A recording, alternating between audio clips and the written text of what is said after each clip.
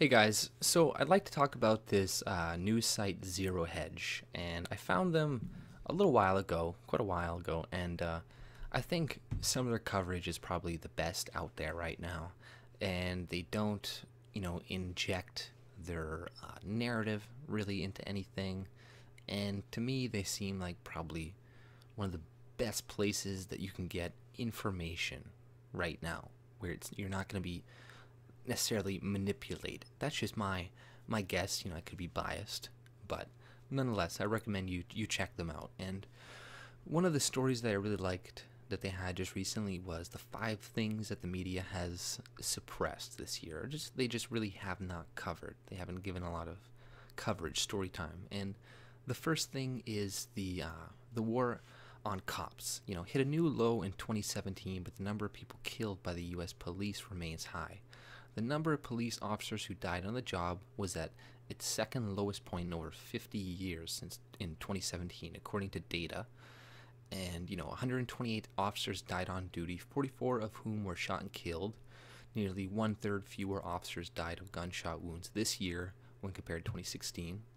But, uh, while, you know, 47 of those deaths were traffic related and 16 were due to illness related to the job. So half of them weren't even involved in shootings, and a lot of those uh, deaths of traffic related ones are them like chasing people or they're just speeding on their own, being fucking idiots, and then they die. That's just the truth. And then, but, however, according to the killed by police database, more than 1,180 citizens have been killed by police officers in 2017 alone.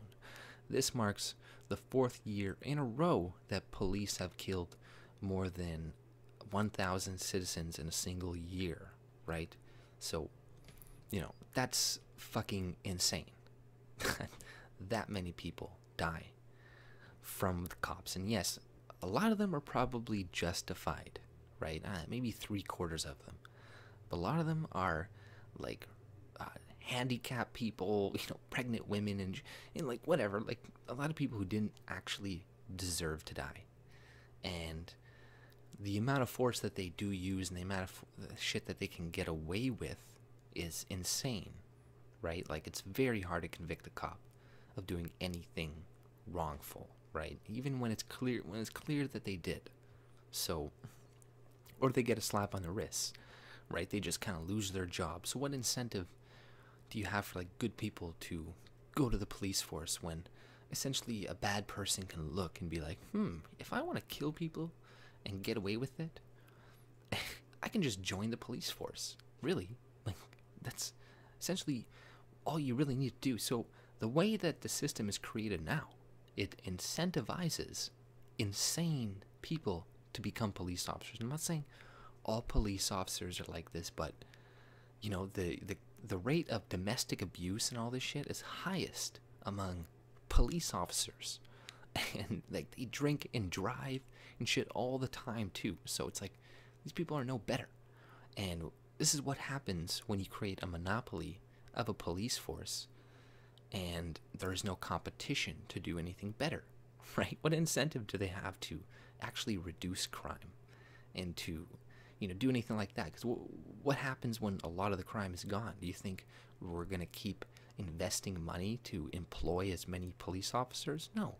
We're going to cut down and a lot of them are going to lose their jobs, right? So when you have a privatized system, then you have people competing, and then you have, you know, you you employ them to keep crime rates low, and when they don't keep crime rates low anymore, you fire them and hire people who do. So this incentivizes groups to always keep crime low, so they want to keep their jobs, right? So whoever has the most efficient police force etc., etc., who can do it with the least amount of people, with the least amount of money, and keep everybody the, the most safe, will continue to get hired. And this will help to improve the police over time.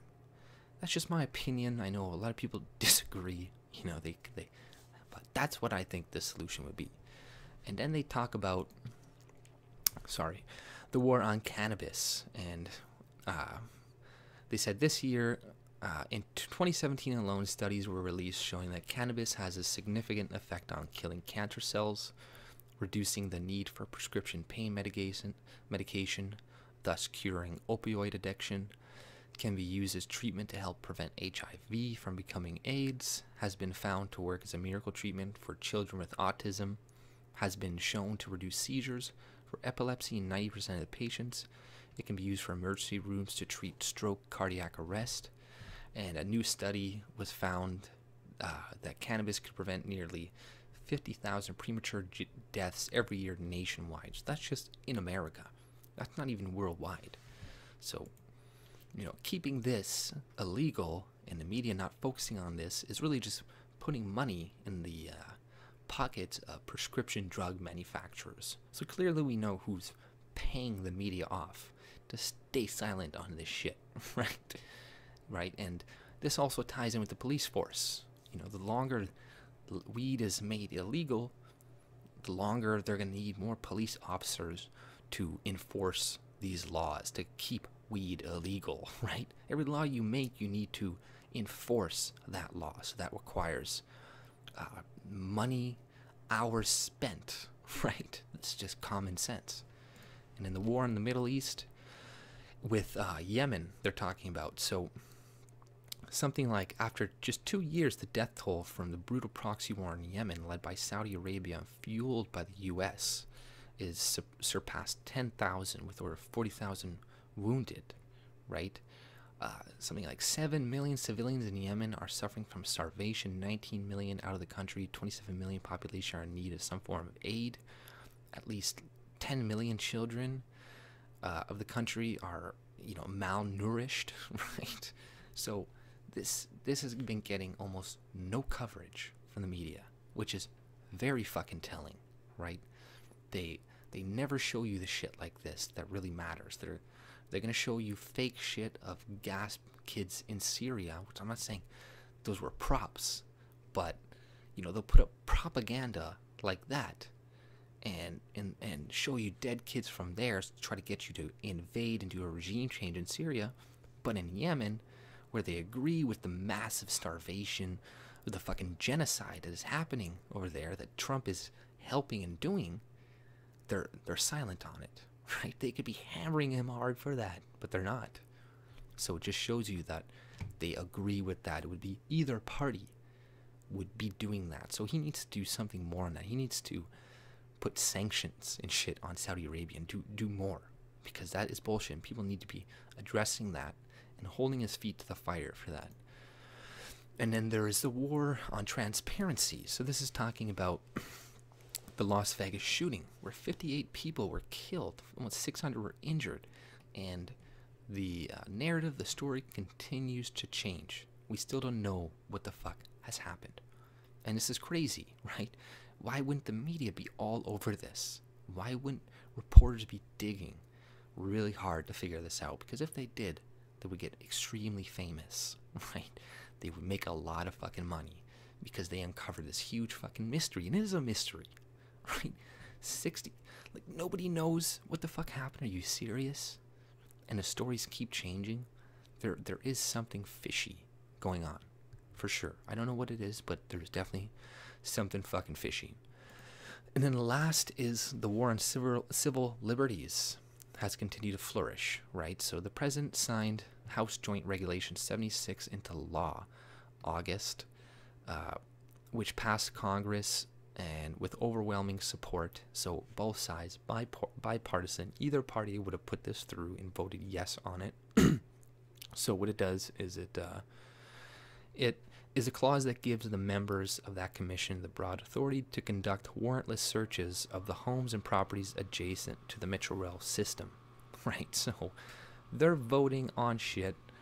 They're they're extending things that essentially take away your rights and, and implementing new things secretly without the media covering it, which they fucking should be. You should be putting a lot of coverage to this. Don't you think uh, losing your rights would be something important, something that they would want to cover. So clearly, they do not have your best interests in mind, because if they did, they would be telling you this stuff. But they're telling you about Jake Paul, Logan Paul, or whatever, uh, Kim Kardashian, uh, how many scoops of ice cream Trump eats, uh, you know, some some drama here, some drama there, right? It's never the important things that you need to know to make an informed fucking decision. It's just their propaganda and their bullshit. So, like I said, uh, you should check out Zero Hedge, and you know I think you would, you'll definitely thank me for it. And if you like my content, subscribe and have a good day. See ya.